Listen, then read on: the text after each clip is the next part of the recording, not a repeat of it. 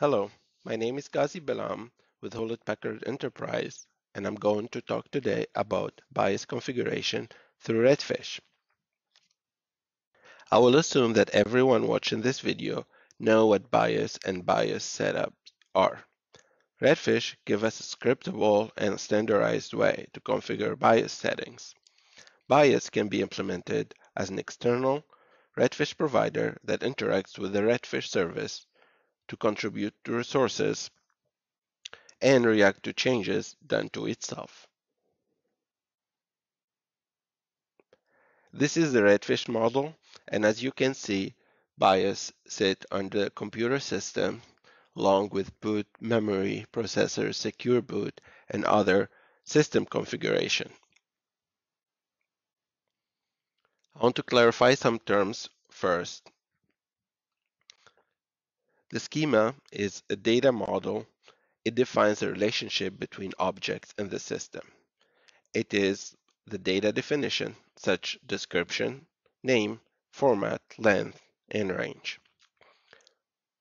Registries are used in Redfish to optimize data being transferred from a Redfish service.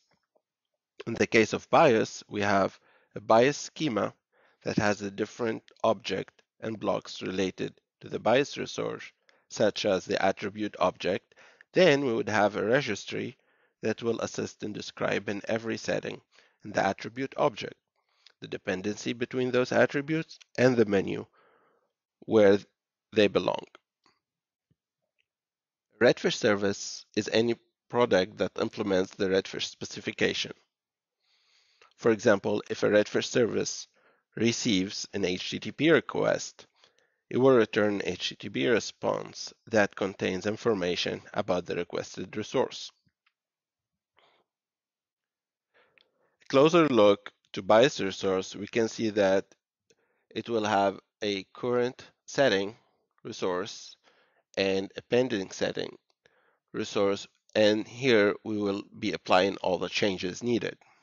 We'll also have OEM and feature resources then under service root, there is registries collection and JSON schema collection. And under these two collection, you will find the BIOS schema and or the attribute registry.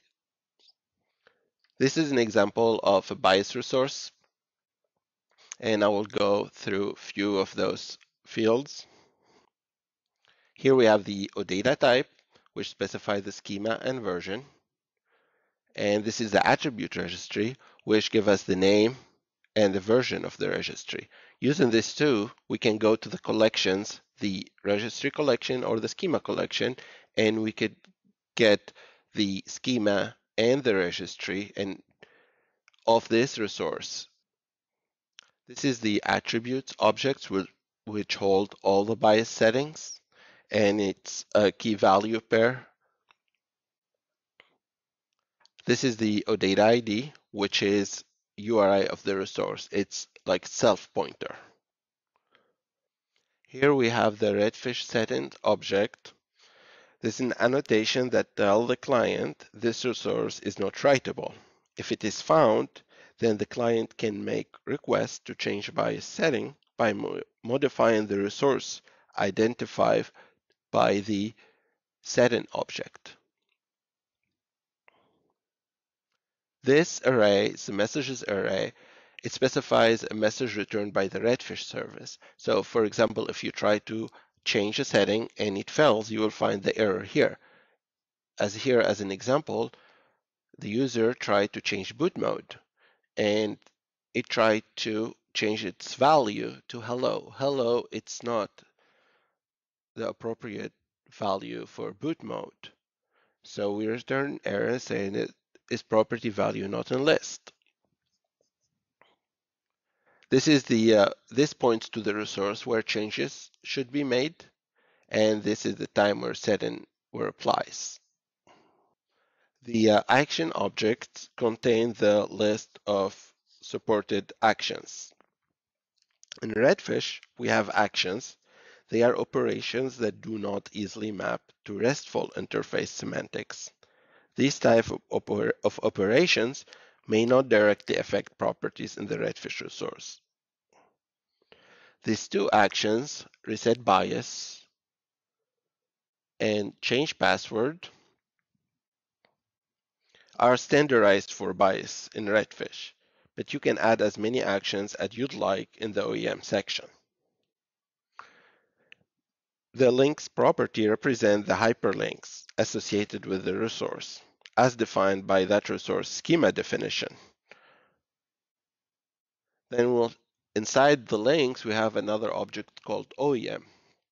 It's where OEMs and other third parties can extend the Redfish data model by creating new resource types. The information and semantics of the OEM resources are not defined in the Redfish standards, but the schema representation representing the data and the resource itself should conform to the specification. The BIOS resource have two states, the current settings and the pending settings. As the name apply, the current settings are the actual values of the system configuration. The pending settings resource is the resource where you do the configuration changes through a patch. For example, here, let's say we're trying to change the admin name to uh, from Fox to Dana. This is the URI for uh, the pending settings, BIOS slash settings. We do a patch that has admin name equal Dana. Now, before we reboot the system, let's do a get on BIOS. It will return the whole payload, but if we look closely to admin name, we will see it says Fox. Then we do a get and BIOS slash settings. Admin name will find that it's Dana because this is a future setting. It's a pending setting. It hasn't been applied yet. Now, after we reboot the system, these, they will be the same.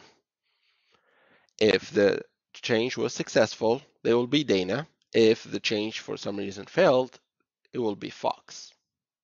Here we have a Python script to get the value of boot mode.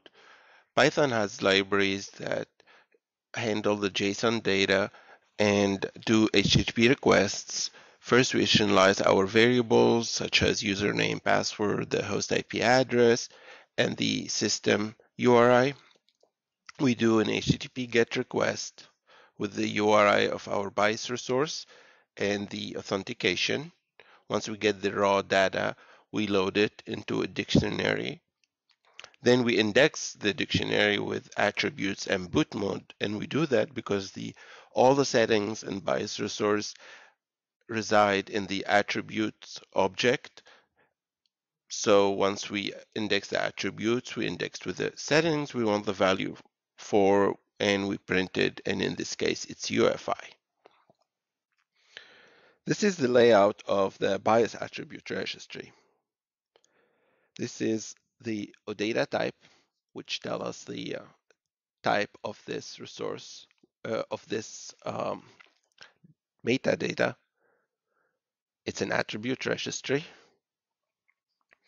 Then we have the registries entries object with the attributes array, dependencies array, and menus array. To the right, we have an example of a dependency object, which will be under dependencies array along with many other objects. Um, this is an example of dependencies for boot mode. The way we read this was if the boot mode current value is equal to legacy BIOS, then the option UEFI optimized boot should be disabled. Here on the left, we have an example of an attribute object. Every attribute will have an object like this to give us all the information needed to configure the setting and validate a change. For example, here we have the attribute name and this is the RESTful name. And here we have the display name, which we see under the uh, setup menu. Here we'll say whether it's read-only or not. This is the menu path where it sits in the setup menu. And these are the different option that it can, uh, the different values that it can hold. On the right is an example of a menu object and the menu arrays. So here the menu name is serial port options and it sits under the system option menu. There are many tools in different coding languages and several RESTful interfaces that can be used to configure a system through Redfish. In this case, I'm using curl, curl to change the admin name. Here I have my JSON file where I have a JSON object with attributes and it has the admin name with the new name because this is the way it looks under the BIOS resource. Now I use my curl command. I tell it that the type is JSON. The content type is JSON. Also tell that I want to do a patch.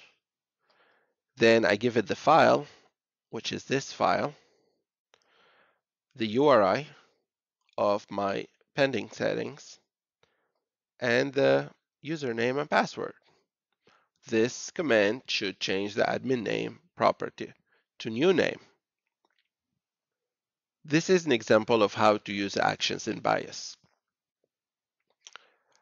We talked earlier about the reset BIOS action, which is a standard action under BIOS resource. Usually BIOS are, uh, actions are done through posts. Here I have the one of the parameters of the only actually parameter of reset BIOS, it's reset type. Every action will have the allowable values. So we know here that this is default. You could also be user default. Then we use the same command curl that we used before. The only difference is a different file. And the post instead of a patch.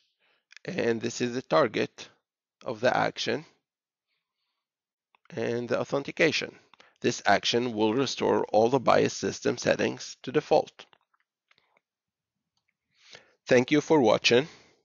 And if you need more information, you can find it, find it in those links.